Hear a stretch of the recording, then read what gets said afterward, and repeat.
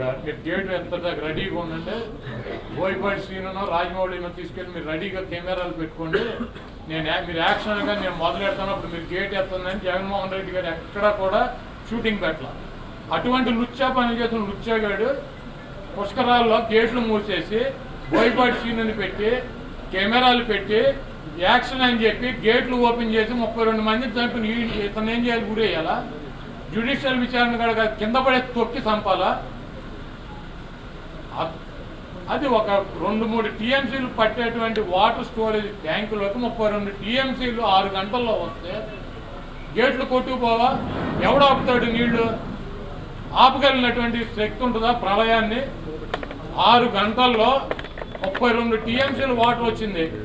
ఎంత? ఆ barrage capacity ఎంత? రెండు టీఎంసీల కెపాసిటీ ఉన్నటువంటి బ్యారేజీలోకి ఐదు గేట్లు ఉన్నటువంటి బ్యారేజీలోకి ముప్పై రెండు టీఎంసీలు వాటర్ వస్తే ఆరు గంటల్లో ముప్పై రెండు టీఎంసీలు వాటర్ ఏ రకంగా పంపిస్తారు? ముప్పై రెండు టీఎంసీలు బ్యా వాటర్ అంటే కృష్ణా బ్యారేజీకి డెబ్బై నాలుగు గేట్లు ఉంటే రెండు రోజులు వెళ్తాయి ముప్పై రెండు టీఎంసీలు వాటర్.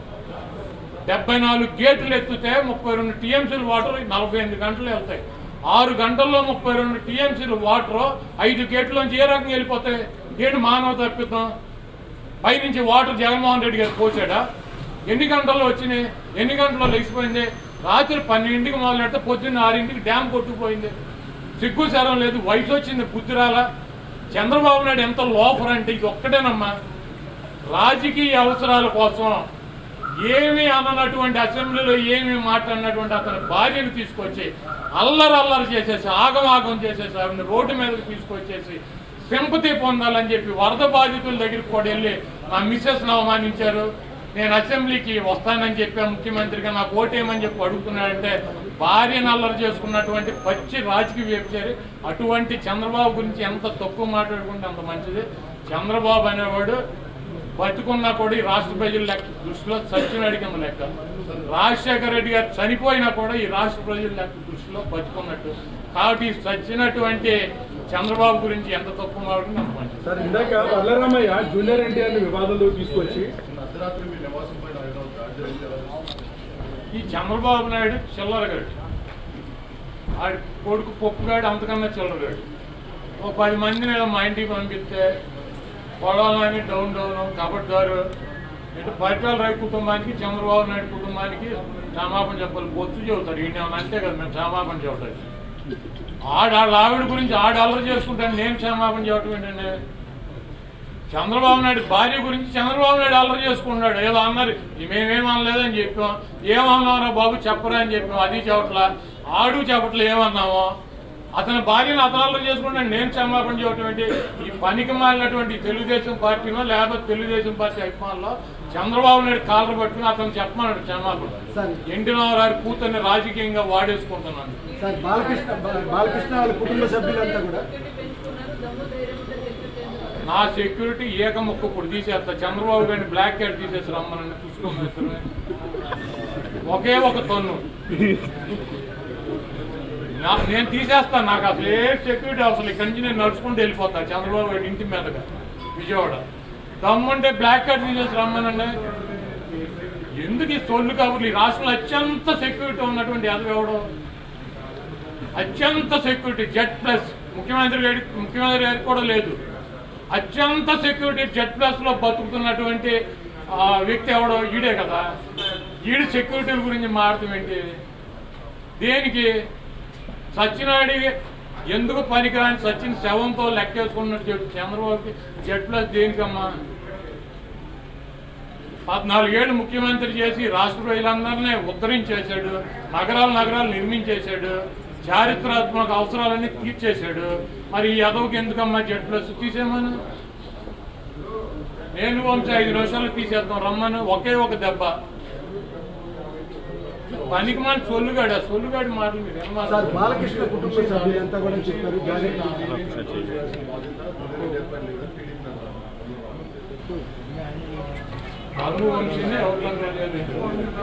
వంశీని చేస్తాడు? లేకపోతే ఆయన ఉద్యోగమా లేకపోతే డైరెక్టరమా లేకపోతే ఆయన దగ్గర మేము? మఠం నేర్చుకున్నాం మేము మమ్మల్ని ఎలా కంట్రోల్ చేస్తాం? వాళ్ళిద్దరూ మీ శిష్యులే కదా ఎందుకు కంట్రోల్ చేయట్లేదు నువ్వు అని చెప్పేసి జూనియర్ అడుగుతున్నాడు ఆయన. చంద్రబాబు. శిష్యులు చంద్రబాబు నమ్మన పూతులు తిడుతున్నారు మరి వాళ్ళందరినీ కంట్రోల్ చేశాడు? నేను వంశీ అంటే ఆయన శిష్యులు ఎన్టీఆర్ శిష్యులు. మరి మా స్పీకరు మా రోజమ్మ శిష్యులు ఎన్టీఆర్ శిష్యులేనా? వీడి శిష్యులే కదా ఈ నమ్మన పూతులు తిడుతున్నారు కదా. మరి వీడెందుకు చేయట్లే? నేను వంశీ జూనియర్ ఎన్టీఆర్ శిష్యులే పని ఎన్టీఆర్ మమ్మల్ని కంట్రోల్ చేయట్లే? ఇప్పుడు వైసీపీలో ఉన్నాళ్ళు లేకపోతే అక్కడ తెలంగాణ రాష్ట్ర సమితిలో ఉన్నాళ్ళు కాంగ్రెస్లో ఉన్నాళ్ళు చాలా మంది చంద్రబాబు గారి శిష్యులు ఉన్నారు కదా? చంద్రబాబు గారు పెంచి పోషించి నీళ్ళు పోసి వాళ్ళకి డైర్లు కుట్టించి ఫుడ్ పెట్టి పెద్ద పెద్ద మహానాయకులు చేసిన వాళ్ళు ఉన్నారు కదా? వాళ్ళందరూ ఈయన తిడుతున్నారు కదా పెద్ద యాదవ్ అని. తలసాని శ్రీనివాస్ యాదవ్ గారి ఎవరి శిష్యుడు? ఆయన జూనియర్ ఎన్టీఆర్ శిష్యుడేనా? అమ్మనా బూతులు తిడుతున్నాడు కదా? మరి ఈయన ఎందుకు కంట్రోల్ చేయట్లా? ఈ వరల రామయ్యకి చంద్రబాబు నాయుడికి ఈ పప్పు నాయుడు గారికి తుప్పు నాయుడు గారికి వీళ్ళకందరికీ బుర్ర పని చేయడం మానేసింది. జగన్మోహన్ రెడ్డి గారు ఈ రాష్ట్ర ప్రజలు ఇచ్చినటువంటి స్ట్రోకులతో ఇక పిచ్చివాగుడు అనమాట ఎవడు దొరికితే వాడి మీద పిచ్చుకొక్కలాగా పడటం గీరటం కొరకటం. సంబంధం లేని వాళ్ళు కూడా దీంట్లోకి తీసుకురావటం. జూనియర్ ఎన్టీఆర్ చూస్తే నేను వంశీ కంట్రోల్ అవుతామా? మాకు జూనియర్ ఎన్టీఆర్కి ఏంటి సంబంధం? ఒకప్పుడు కలిసి ఉంటే ఉన్నాం. విభేదాలు వచ్చినాయి బయటకు వచ్చేసాం. మేము జగన్మోహన్ రెడ్డి గారితో జగన్మోహన్ రెడ్డి గారు వైఎస్ఆర్ కాంగ్రెస్ పార్టీలో ఉన్నాం. మా నాయకుడు జగన్మోహన్ రెడ్డి గారు. జగన్మోహన్ రెడ్డి గారు చెప్పింది చేస్తాం. జగన్మోహన్ రెడ్డి గారి కోసం ఏదైనా చేస్తాం. ఆయన చెప్పకపోయినా కూడా చేస్తాం.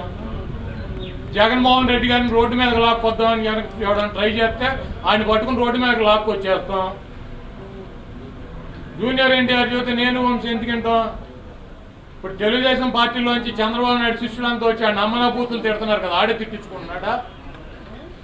ఏం ఆదేశాలు ఇవ్వకుండా వరలరాయ పంచాయతీ వార్డు మెంబర్ కూడా గెలవడం. ఒకసారి ఎంపీగా రెండుసార్లు ఎమ్మెల్యేగా ఒకసారి జడ్పీటీసీగా పోటీ చేసి వచ్చినట్టు ఉన్నాడు ఎక్కడ గెలవాల? ఇప్పుడు వరలరాయ స్టేట్మెంట్లు కూడా నేనే సమానం చెప్పాలంటే ఎక్కడ తమ్ముడు?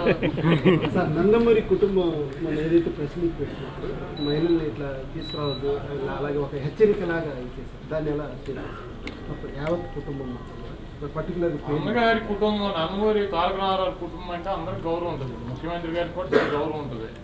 ఎవరిక్కడ ఎవరిని గౌరవం లేని వాళ్ళు ఎవరు ఉన్నారో నాకు తెలియదు అందరికీ ఉంటుంది. ఎందుకంటే వాళ్ళు రాజకీయాల్లో పదవులు ఆశించలా ఎన్టీఆర్ ముఖ్యమంత్రిగా ఉండగా డబ్బులు ఆశించలా. డెఫినెట్గా ఎన్టీఆర్ఆర్కి విలువలు పెంచేదట్టే వాళ్ళంతా కూడా ప్రవర్తించారు. ఎప్పుడు కూడా ఆ కుటుంబం వల్ల ఆయనకి ఎప్పుడు కూడా ఇబ్బంది కలిగినటువంటి పరిస్థితి లేదు. వాళ్ళు ఎంత అమాయకంగా ఉంటారంటే ఈ దుర్మార్గుడు చంద్రబాబు నాయుడు ఎన్టీఆర్ కనుక తెలుగుదేశం పార్టీ అధ్యక్షుడిగా ఉంటే పార్టీ నాశనం అయిపోద్ది. ఎన్టీఆర్ ముఖ్యమంత్రిగా ఉంటే ఈ రాష్ట్రం నాశనం అయిపోద్ది అని చెప్పి వాళ్ళని నమ్మించగలిగాడు. ఎన్టీ రామారావు కూతుర్ని కొడుకుని ఆయన మానవ సంతానాన్ని ఎన్టీ రామారావు తెలుగుదేశం పార్టీ అధ్యక్షుడు ఉంటే ఆ పార్టీ నాశనం అయిపోతాడు ఆయన ముఖ్యమంత్రిగా ఉంటే ఈ రాష్ట్రం నాశనం అయిపోతుందని వాళ్ళని నమ్మించగలిగాడు. వాళ్ళని నమ్మించి ఇతని వైపు తిప్పుకుని ఆయనకు ఆపోజిట్గా మాట్లాడించగలిగాడు. పాపం అటువంటి కుటుంబ సభ్యులు తండ్రికి అటువంటి ఆ ఆకాశం అంత ఎత్తున్నటువంటి ఎన్టీ రామారావుకి వ్యతిరేకంగా ఈ పాకిస్తాన్ కోసం పనిచేసిన కుటుంబం అది. మరి నా పొట్టేళ్ళలో వంశీలు అన్న పాపం వీడు చెప్తే వచ్చి మాట్లాడితే దాంట్లో ఆశ్చర్యం ఉంటుంది. నాకైతే జాలేస్తుంది పాపం అంటే గొర్రె కషాయాన్ని నమ్ముద్ది. అది నరికినా దాన్ని మటన్ వండు తిన్నా కూర వండు తిన్నా కూడా దాన్ని అన్నీ నమ్ముద్ది కషాయాన్ని. అట్లాగే పాపం వాళ్ళు ఎన్నిసార్లు మోసపోయినా ఎన్నిసార్లు నష్టపోయినా ఈ కషాయాన్ని చంద్రబాబు గారు అంటే అదం నమ్ముతారు వాళ్ళు కాబట్టి వాళ్ళు అంతకన్నా గొప్పగా మాట్లాడతారైతే నేను అనుకోలేదు. చంద్రబాబు నాయుడు ఎన్టీఆర్ కుటుంబాన్ని ట్రాప్ చేయగలడు. ఏదైనా చేయగలడు మోసం చేయగలడు ఒక్కడిని తప్పించి.